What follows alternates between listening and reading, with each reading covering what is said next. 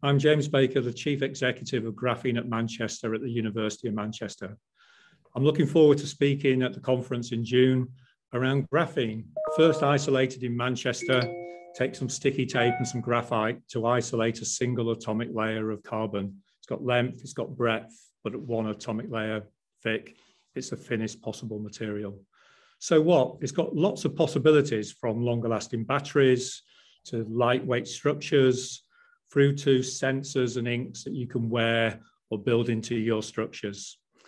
I'm really looking forward to the keynote to talk about how advanced materials and graphene can play a role in supporting sustainability of our built environment.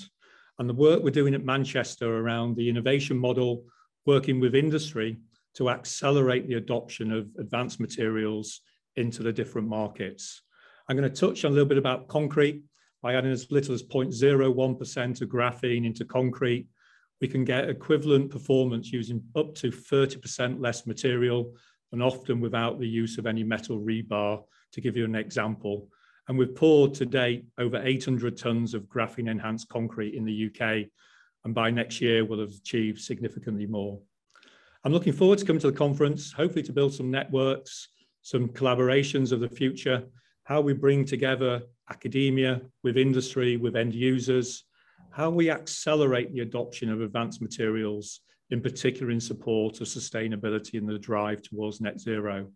So looking forward to the event, hopefully speak to a number of you there, and hopefully we'll really accelerate graphene into the marketplace to make a real difference in support of sustainability and the objectives around the world of reduction of CO2. Look forward to seeing you there.